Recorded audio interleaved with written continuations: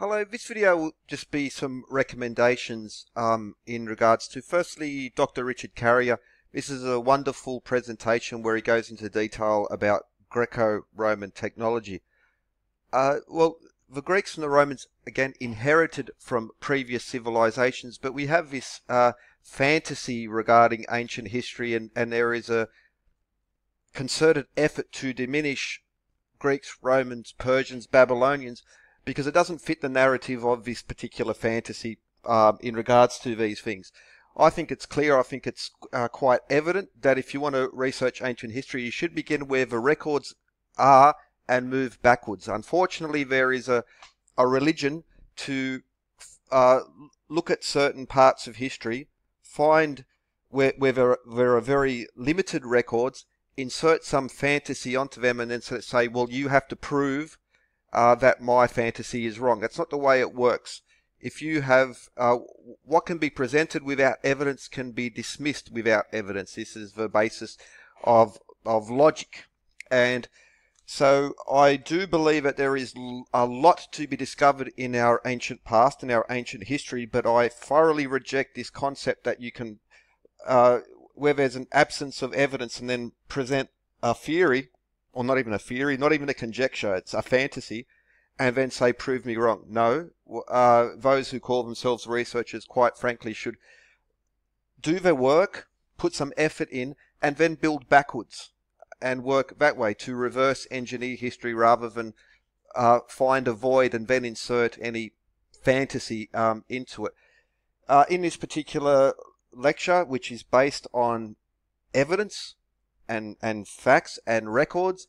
He he points to the fact of uh, the, the the Romans again inherited knowledge from earlier civilizations, but they were on the verge of a major scientific revolution, very much as we were in in the Renaissance and the Enlightenment, and uh, things like the Antikythera mechanism, astronomy, and these are all the the liberal let's the quadrivium, especially wonderful presentation based on fact, not on um, a fantasy. And again, I am very interested in looking and re-examining the ancient past, but I will not do it in a religious sense where I insert uh, any sort of conjecture on on top of that. I know people don't like that, but I'm not really interested in what you what you like. I'm I'm interested in facts. Uh, another interesting channel, and I'll put the links in the description, is uh, Dr. Raoul McLaughlin. Again, based on extant rec- existing records, proven records, and then using that to create, uh, well, to examine uh, some sort of history as well. Especially Roman contact to places such as India. So if you look up again these videos, uh, not only were they, from, especially from Egyptian ports, they were trading with India in a large, in a, actually in a massive sense. Uh, it was a part of a global system well, almost you could say, global system of trade. But as the Romans were trading with India, the Indians were also trading with Southeast Asia and moving on to China. He also details uh, the Chinese and Japanese and what they understood of the Romans and how close these two, these very, very distant cultures were coming to together again. So again, I'll put these links in the description. I think this is just, you know, let's, you know, let's begin with the records and move backwards to look at the ancient past rather than begin in the absence of information and then insert any fantasy and then say you no no no. If you present a, a, theory without evidence it can be dismissed without evidence. It doesn't even need to be examined because there is nothing to examine. Where is your evidence? And that's unfortunately the state of affairs is you know there's a lot of money uh, and and and there's names to be made by people who do not understand ancient history. Let's be frank, who who have uh, very little diligence, uh, very little effort um, put into it. But they make, you know, God bless them. They make, you know, they make a good living out of fantasy. I choose, you know, that's not something I choose to do. Uh, I, I, yeah, and so these links will be in the description. These are just some of the entry points to look into the the Roman history Roman technology and Roman science, which was part of an evolution. They didn't just pop out of the ground with this stuff.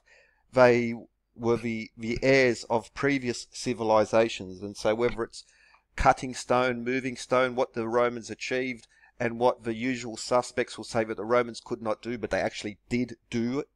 Again, it's the, the ev- not even the evidence, the proof is there on what the Romans achieved, and they did not just magically appear out of the soil and do these things. They were part of a a long tradition, and so I can yeah only I, I really can only shake my head at the at the religious nature of of certain schools of thought. I wouldn't even call it. It's not even a school. It's a delusion. It's a fantasy. Um, if you present the evidence, I'll be willing. Uh, I'm going to do some other videos on some well uh, geopolymers and some other unanswered questions which are based on at least some sort of evidence, as opposed to the there's another word to describe it the fantasy the, the, the quasi-religious nature which surrounds ancient history. And it's not just what you say; it's also what you do not include in your in your theory, which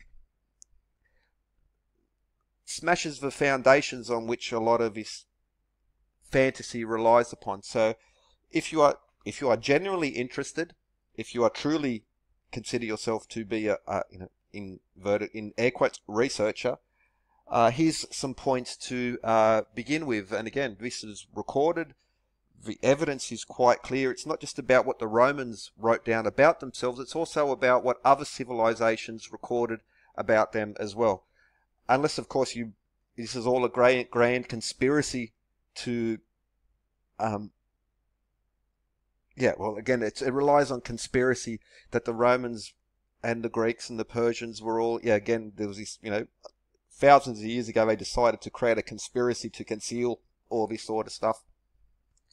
I can only really laugh at that. Anyway, but again, please do watch. You can again take this evidence and then research it for yourself to look at again. These people present the, the, the evidence and where they got it from and how they come upon their certain ideals.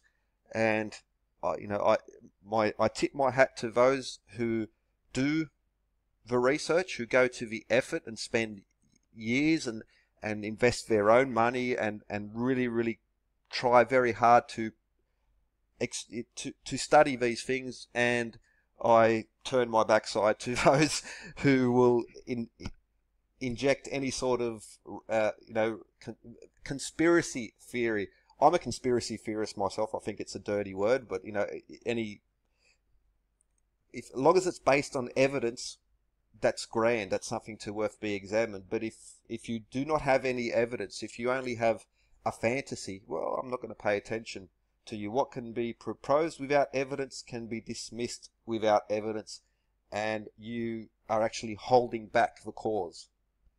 That's to be blunt. Again,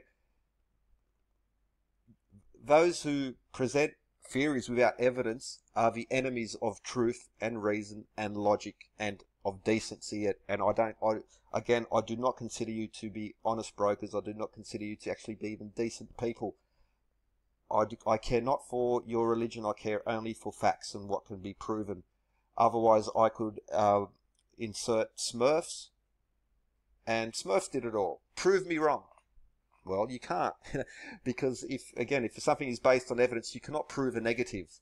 and and so in a lot of this alternative stuff, just replace their keywords with the word Smurf. And what do they have? Nothing. And so please, here's the evidence. Look, you know, it, it takes time, it takes some sort of rigor to, to in, inject these things. And these people have done the hard miles, they've done the hard work.